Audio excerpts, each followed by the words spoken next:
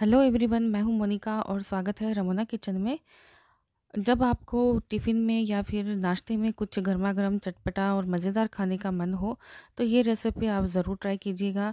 या फिर जब आपको खाने में रोटी सब्ज़ी के अलावा कुछ और टेस्टी सा, मज़ेदार सा खाना हो तो आप इसको बनाएँगे और खाएँगे तो आपको बिल्कुल भी भूख नहीं लगेगी, आपको रोटी की ज़रूरत महसूस नहीं होगी। तो ये टेस्टी सा, मज़ेदार नाश्ता बनाने के लिए हमें चाहिए एक बाउल। बाउल में मैंने एक कप सूजी डाल दी है।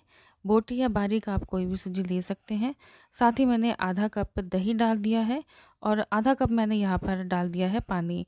तो तीनों चीज़ों को हम अच्छे से मिक्स कर लेंगे और एक गाढ़ा सा बैटर बनाकर हम तैयार कर लेंगे।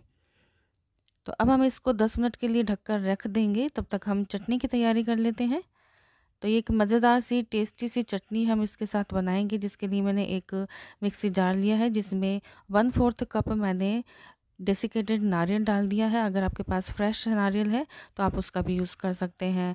वन फोर्थ कप भी मैंने यहाँ पर नमकीन यानी कि भुजिया डाल दी है, जो कि स्पाइसी चटपटी है। साथ ही हम एक हरी मिर्च और आधा इंच अदरक का टुकड़ा डाल देंगे। स्वाद अनुसार हम इसमें नमक ऐड कर देंगे और मैंने यहाँ पर वन फोर्थ कप दही लिया है। मैंने तीनों चीज़ें बराबर मात्रा में ली है। आप अपने अकॉर्डिंग कम ज़्यादा कर सकते हैं। दही मैंने यहाँ पर खट्टा नहीं लिया है, फ्रेश दही यूज़ किया है और मिक्सी जार में हम इसको पीस लेंगे और हमारी ये चटनी है वो बनकर तैयार हो गई है। ये चटनी बहुत ही जल्दी बनकर तैयार हो जाती है और बहुत ही टेस्टी लगती है। एक बार आप इसे ज़रूर ट्राई कीजिएगा। तो यहाँ पर मैंने चटनी को एक कटोरी में निकाल लिया है। तो मैंने इसमें तड़का नहीं लगाया है। अगर आपको तड़के वाली चटनी चाहिए तो आप इसमें तड़का लगा सकते हैं। चटनी तैयार हो गई है तो अब हम सूजी को देख लेते हैं। तो ये देखिए, सूजी है, हमारी अच्छे से फूल चुकी है, बिल्कुल अच्छे से ये सेट हो चुकी है। तो अब हम इसको अच्छे से मिक्स कर लेते हैं।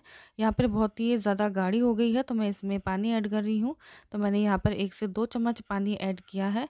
तो हमें इसका बैटर है, वो बिल्कुल वैसे ही बनाना है, जैसे हम इडली का बैटर बनाकर तैयार करते हैं। तो अब हम इसमें डाल रहे हैं स्वाद अनुसार नमक। एक चम्मच मैंने यहाँ पर कच्चा जीरा डाल दिया है। और अब हम इसमें ऐड कर रहे हैं चिली फ्लेक्स। अगर आप छोटे बच्चों के लिए बना रहे हैं तो तीखा आप अपने अकॉर्डिंग कर सकते हैं। मैंने यहाँ पर कुछ सब्ज़ियाँ ली हैं, जिसमें मैंने टमाटर लिया है, शिमला मिर्च ली है, कॉर्न लिए हैं और एक हरी मिर्च बारीक कट करके डाल दी है। साथ ही मैंने अदरक को कद्दूकस करके इसमें ऐड किया है। सब्ज़ियाँ आप अपने अकॉर्डिंग अपनी पसंद की इसमें ऐड कर सकते हैं। मैंने इसमें प्याज का यूज़ नहीं किया है, अगर आप प्याज खाना पसंद करते हैं तो प्याज भी डाल सकते हैं। अच्छे से हमने इसको मिक्स कर लिया है और अब हम इसमें तड़का लगाएँगे, जिसके लिए मैंने एक चम्मच ऑयल गर्म कर लिया है। तड़के के लिए मैंने यहाँ पर एक चम्मच उड़द की दाल, एक चम्मच चने की दाल और एक चम्मच मैंने यहाँ पर राई ली है और साथ ही मैंने ड्राई करी लीव्स डाल दिए हैं और तड़का पैन में हमें इसे डालकर अच्छे से चटका लेंगे। अच्छे से हमें इसको कुक कर लेना है। थोड़ा सा गोल्डन ब्राउन होने के बाद में तड़का हम इसके अंदर डाल देंगे। तो ये तड़का आप चाहें तो चटनी के अंदर भी ऐड कर सकते हैं। तड़के को हम बैटर में अच्छे से मिक्स कर लेंगे। मैंने यहाँ पर तड़का लगाया है, लेकिन अगर आप नहीं लगाना चाहते हैं तो बिना तड़के के भी आप इस नाश्ते को बना सकते हैं। अब हम इसके अंदर वन फोर्थ चम्मच बेकिंग सोडा डाल देंगे। अगर आपके पास सोडा नहीं है तो आप आधा चम्मच इनो पाउडर भी डाल सकते हैं। साथ ही मैं इसके ऊपर थोड़ा सा पानी ऐड कर रही हूँ और अच्छे से हम इसको मिक्स कर लेंगे। सोडा डालते ही हमारा जो मिश्रण है, बिल्कुल फ्लपी हो गया है, बिल्कुल अच्छे से फूल गया है। तो अब हम इसका नाश्ता बनाएँगे। नाश्ता बनाने के लिए मैंने उसी तड़का पैन का यूज़ किया है। अगर आपके पास नॉन स्टिक पैन है या फिर अप्पे मेकर है तो आप उसमें भी इस नाश्ते को बना सकते हैं। लेकिन मैं यहाँ पर आज आपके साथ बन डोसा की रेसिपी शेयर कर रही हूँ। इसलिए मैंने यहाँ पर तड़का पैन का यूज़ किया है। इससे जो शेप आएगा बिल्कुल बन जैसा आएगा। मैंने यहाँ पर तड़का पैन में दो चम्मच हमारा बैटर है वो डाल दिया है और इसे हम ढक कर एक मिनट के लिए पका लेंगे। फ्लेम को हमें लो ही रखना है।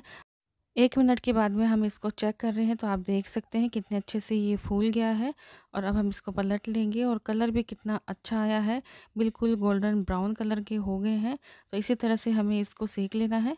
तो अब हम इस पर लगा रहे हैं बटर। आप बटर ऑयल कुछ भी लगा सकते हैं जो आपको पसंद हो। मैंने यहाँ पर दोनों चीज़ें यूज़ की हैं। तो अब हमें दूसरी तरफ़ से भी ढक पका लेंगे और अब हम इसको पलट लेते हैं। तो ये देखिए, इधर से भी अच्छे से ये कुक हो गया है। इधर भी हम बटर लगा लेते हैं और इसको सेक लेते हैं। तो इस तरह से ये आप बंडोसा है, वो बनाकर तैयार कर सकते हैं। बिल्कुल भी आपको टाइम नहीं लगेगा, बहुत ही कम टाइम में, दो से तीन मिनट में ये बनकर तैयार हो जाते हैं। तो ये देखिए, बहुत ही अच्छे से ये कुक हो गया है, बहुत अच्छे से ये सीख चुका है। तो हमने यहाँ पर एक बना लिया है तो मैं आपको दूसरा भी बनाकर बता देती हूँ। मैंने यहाँ पर पहले वाले में बहुत ही कम ऑयल यूज़ किया था। अब मैं यहाँ पर थोड़ा ऑयल ज़्यादा यूज़ करके इसको बनाकर बता रही हूँ। ये थोड़ा सा ज़्यादा क्रिस्पी हो जाएगा, अगर आप इस तरह से थोड़ा ऑयल है, वो ज़्यादा यूज़ करेंगे। तो अब देखिए, आप कितने अच्छे से फूल गया है। हमने इसको भी पलट लिया है और इसका भी कलर देखिए, बहुत ही अच्छा आया है। तो अगर आपको लगता है कि आपका पैन है वो ज़्यादा गर्म हो गया है तो आप गैस बंद कर सकते हैं। इसी तरह से मैंने यहाँ पर गैस बंद कर दी थी और अब वापस से ऑन कर दी है और इसे ढककर हम वापस से पका लेते हैं। तो आप देखिए, बहुत ही अच्छे से ये क्रिस्प हो गया है। बहुत ही अच्छा कलर आया है और खाने में तो इतने टेस्टी होते हैं कि आप इसे बार बार बनाना चाहेंगे।